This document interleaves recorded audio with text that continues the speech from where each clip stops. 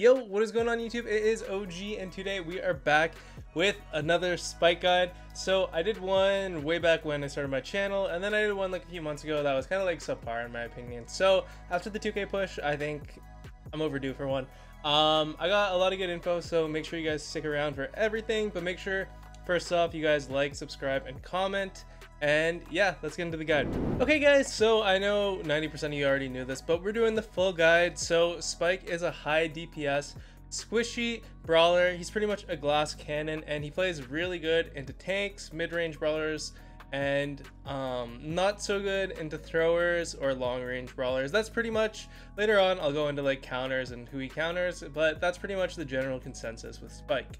So his main attack, um, without the fertilizer star power, it breaks into six different directions. It's always the same pattern, um, but I'll do that later in the video as well with gameplay. But each uh, spike does 728, and typically you'll hit around like 1400 if you connect with a full spike ball, sometimes a 2k. Alright, so Spike has two star powers, and the first one is Fertilizer, which is the community favorite. Second one's Curveball, which everyone kind of hates, but it, Loki is pretty good too.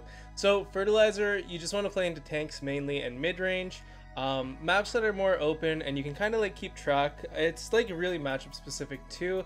Um, I think Fertilizer definitely you can carry harder, but Curveball, it's more like chip and annoying. So if you know you're playing against like double tank Poco or something like that, or like a lane, like any mid-range brawler, pretty much besides Max, um, I would always take Fertilizer personally as you can make a lot of cool plays with it and it's just like a lot more skillful and it's really rewarding when you hit those RNGs. Okay, next up we have Curveball as the second star power and you just play this one when you're too tired to play the game. No, but Curveball it's good for checking bushes and the long range like poke matchups. Also like brawlers like Max where it's really hard to hit them and like just keep them chipped. It's good into those as well. So pretty much on like long range maps where odds are you're gonna be like you're gonna need like a lot of poking like matchups like Gene, like Brock, like anyone like that. Um, and then also on grassy maps, just because the RNG pattern is pretty predictable and Spike doesn't have the fastest reload speed, unfortunately. So when you throw out a few shots and you know they can correctly like just dodge them with fertilizer. You can get snuck up on really easily, but fertilizer or curveball, sorry, is a lot harder to dodge. So you will obviously get like more consistent damage at range with the curveball. So for Spike's gadget, it is called Popping Pincushion. I literally had no idea. I just had to look at it, and I'm very surprised by the name and a little disappointed too. Um, speaking of disappointed, I'm kind of I'm not really a huge fan of the gadget just because it's so like I don't know. It doesn't add anything like super interesting to them.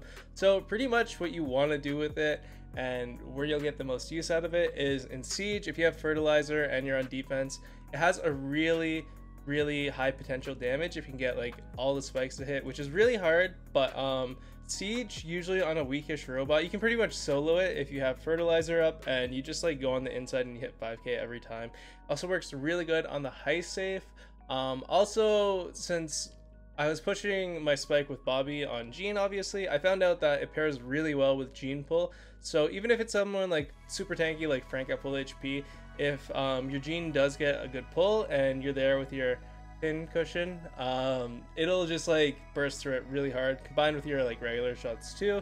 Um, so there's just like little plays like that you can do. Besides that, um, just fertilizer and run up to like a Rosa or something, try getting in the hitbox. If they're smart, they'll stay away but um, it's mainly used in like siege and heist, I guess. Okay, so Spike is honestly really versatile, and during my push, I could play him pretty much anywhere. The only mode where I would not recommend Spike is Bounty, just because he doesn't do too good into long range brawlers. I mean, if you think they're going like double tank Poco or something, maybe, but even then, it's really dicey, and I just try not to play him in Bounty because you can literally play him anywhere else. So for his best mode though, I got Brawl Ball, and historically, I think there was a point where Gem Grab was at one point, but it's pretty much been Brawl Ball since like the inception of Brawl Ball. So it's a lot of congested maps and tanks to mid-range, so he plays really good into most of those, except for like Surge right now, which is just super toxic, but he's fine into like Gale, Max with Curveball, and obviously like all the Poco tank comps he's really good into as well. So I think Brawl Ball is definitely his best mode right now. So in Siege, he's really good for mid control as well, and he's honestly a really slept on pick. The only thing that you have to watch out for is throwers, which are probably his biggest counter in my opinion, besides Surge right now. Um, so play your matchups right if you do get a thrower. If it's like barley and they don't have medical use, then you can kind of like chip them down sometimes. But it's gonna be like really tough, and you honestly just want to stay on like one of their mid-range or tanky brawlers because usually like every comp has a tank. So just try to follow them around, and you know on defense you're gonna be really useful. Same with offense, you can get a lot of good value with your super on both sides playing field and in mid, of course. Um, so just definitely try him in Siege. It's kind of matchup dependent, but I think he's really solid in Siege. So right now in Heist, besides the whole Gale jumping in thing, when there is no Gale, typically mid control is really valued and you just want to like keep a lot of pressure. So Spike's actually really good at this. And if he does get alone on safe, either like with a Gale gadget or he just like manages to win his lane and sneak by, they cannot leave him alone there. He will do so much damage with his gadget especially if he's like uncontested he can hit like 4ks with his regular shot too or even 5ks i think you just have to aim it properly um, so he just has such high threat for taking out their safe um, decent mid good mid control good defense uh, but he does get countered a fair amount in siege and you know he is really like vulnerable to throwers and stuff which we see a lot of in siege and like Brock's stuff like that so he's definitely like matchup he's matchup dependent like everywhere, but I think he's also very viable in Heist as well. Okay, next up we have Gem Grab for his fourth best mode. Um, I didn't bother listening Showdown or Duo Showdown. I'm not too knowledgeable about it. It's gonna be a 3v3 spike guide, but um, Gem Grab, it definitely used to be his best mode for a little bit, but the meta and the maps have completely changed. So the lanes are pretty like long range on the open maps, and on the close congested maps, it's kind of just like a mix of everything right now with like Mr. P, which counters Spike, and um, you know Max, which he doesn't do too too good into all the time. Carl, he's like decent. You can win that matchup for sure. But I think Gem Grab is one of his worst modes right now, um, and he just doesn't. His gadget gives him like no value in it either. So sometimes, depending on the match and like the map, you can use like Curveball. But I think there's like pretty much always a better pick than Spike. Okay, and his last best mode is Bounty.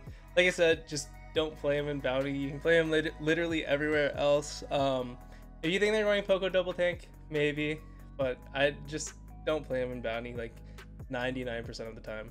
Okay guys, let's get into who counters Spike, who he counters, and who he goes even with. So for counters, we have Tick, Sprout, Barley, Dynamike, Sandy, Piper, Brock, Rico, Bea, Surge, and Penny. Um, now this is just a general kind of list of like who I feel like after. You know, for Penny, it's like when the turret comes up. With Sandy, it's like pretty map dependent, but I feel like the Sandy matchup's really good. Um, I won't get into all the specific ones. You guys can kind of like get the basis. It's like long range, throwers, etc., and then a few odd ones. But those are just the matchups that I really don't prefer playing as a spike, especially like throwers and like super long range. So for Who Spike counters, we got Rosa, Primo, Frank, Bull, Darryl, Bibi, Emz, Nita, Shelly, Poco, Tara. So again, you guys can kind of see like a pattern, some consistency. Uh, all the tanks, pretty much Spike does really good into tanks. And then the mid-range brawlers for the most part. Um, typically he does beat like all the ones I listed. Obviously, map dependent. This is just a general idea of who you want to play Spike into.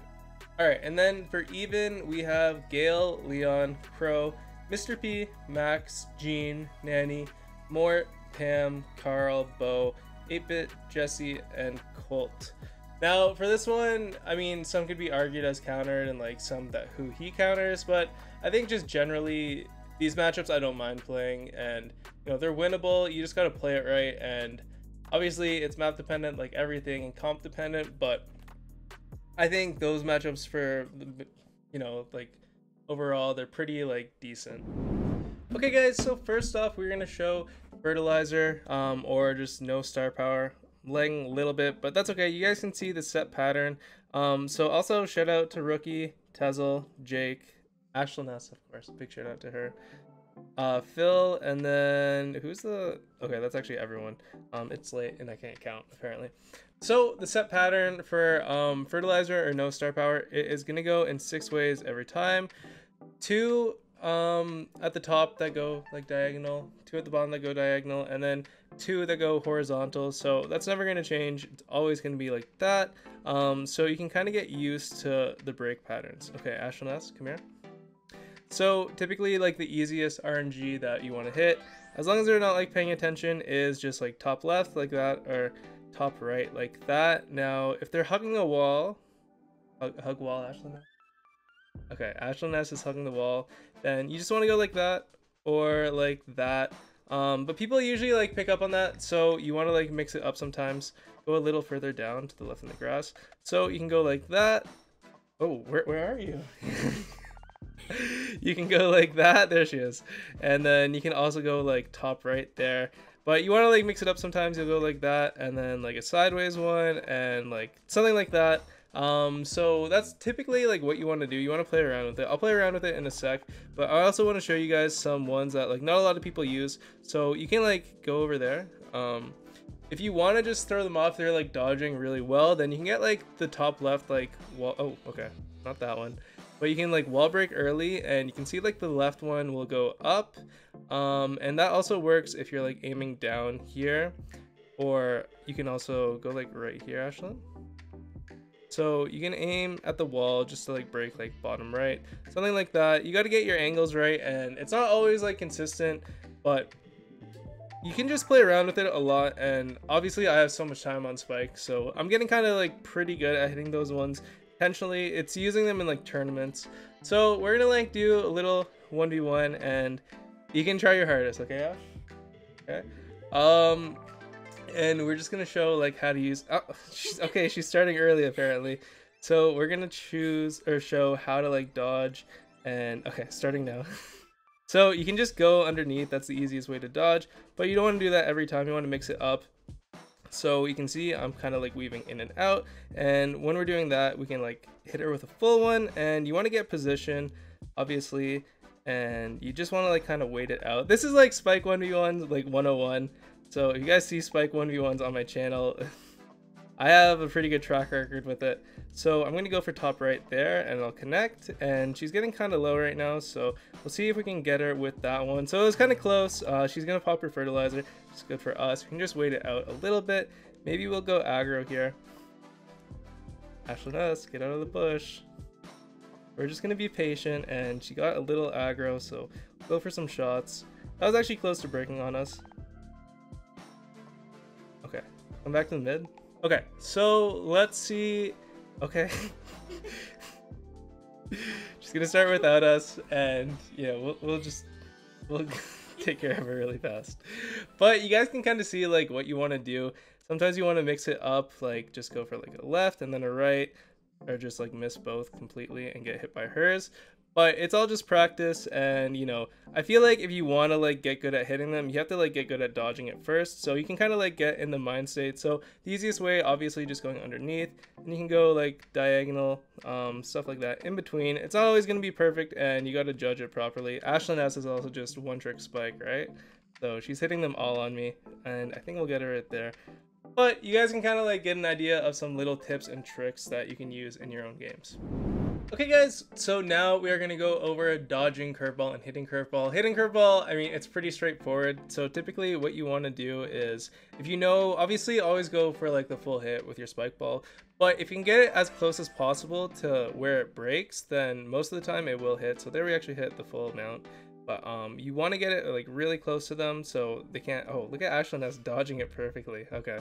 So you want to get it close to them so they don't really have enough space to dodge it. And, you know, sometimes you just want to spam wide and just hope for the best. And, you know, it can push them into like other shots just like that one there. Um, but typically, if you want a safe way, so we'll show you how to dodge in a sec, you do want to just like go close to them so they can't really dodge it. Okay, now we're gonna go into the difficult part, dodging, and even I, like, I can't do it consistently or perfectly by any means, so here, give me an easy one. Just shoot it like right at me. Okay, that's a little further back. So you can't go close to where it breaks. So you want to like just kind of, okay, no, I'm too close there. Um, you want to kind of break with it. So I'll try going to the side because keep going. So you can kind of see you want to just like roll with it and you can't go close to the middle. You got to go like where it breaks. But now we'll go under it. It's kind of like awkward angle a little bit just because of the distance and we're in the bush. But you guys can kind of see like what you want to do. Um, I'm not really good at attempting like up here. Just keep shooting where you're shooting. but you can kind of like get the idea of like what you have to do. Obviously, like this one, it's not too practical, but you can see like how the pattern breaks. Now, if I try going closer and dodging, like it's not gonna work. It's gonna hit me for 720, even if I like, do it most of the time. You know, it is gonna connect as long as like you need a few tile distance to like do it consistently. Just like right over here, kinda. Um, and then you just gotta like kind of roll with it. So, I mean, it's not 100% guaranteed, and most of the time, honestly, your best bet is just going to be to um, just stay like max distance and hopefully the spike runs out of shots or you get lucky and you're like at max distance or close and the further you are away from it the easier it is to dodge just because of how the pattern works so we're just gonna have fun curveball 1v1 now and see how that goes i'm sure ashlyn okay she's giving us no time um, let me regen and then we can go at it. Ready? He's giving me no time. So obviously we don't have fertilizer, so we got to be careful here. Um, but we are getting her pretty low. That one should hit. Oh, I shouldn't have taught teach her how to dodge. All right, so we're actually doing a pretty good job at dodging each other. I'm gonna get her though. Yeah, so you know your super doesn't heal you, obviously, with curveball, so you got to be careful of that. You do want to keep your distance most, most of the time, and it is mainly just for poking. Um, there's not too many interesting things you can do with it. I mean, I don't think I'm like fully qualified like I am with fertilizer with curveball. It's pretty straightforward. Just, keep your distance if you can, and just like poke down. Um, and yeah, the gadget, it actually used to go in the curve pattern, but now they changed it and it was really good in the curve pattern. You can make some cool plays with it. I like that part of it. But um, now they changed it, unfortunately, so it's not cool or interesting anymore. But hopefully this guy, this helps you uh, dodge a few of those curveball shots. I, I know it's not perfect, but it, it's something and you can just like work on it yourself. Obviously you can see I'm getting hit by so many, so... We're just gonna end the curveball section here. Right when I died. Good timing. Okay guys, so that is pretty much gonna sum up my spike guide. Um, I think I covered pretty much everything. I tried looking for other guides and this was pretty much as in-depth as it gets. I covered like all the essentials with spikes, showed you guys some cool tricks. Um, big shout out to everyone that helped out with this video, especially Ashlyn S. Um, as well, Phil, hold on, let me let me get the proper list. Uh, Rookie, Tezel, Jake, and Phil. Thank you guys so much for helping with the video. It meant a ton and it was really useful, um, especially that curveball part. I think you guys can all learn something from there. I still need to learn it, but um, yeah, I think that is gonna do it for my 2000 trophy spike guide. Um, hopefully you guys love playing spike. It's a really cool brawler besides curveball. Um, but yeah, let me know what you thought of the guide if you guys want more, and make sure to like and subscribe and comment as well. Anyways, guys, that is going to be it for today's video, and I'll see you all tomorrow. Peace!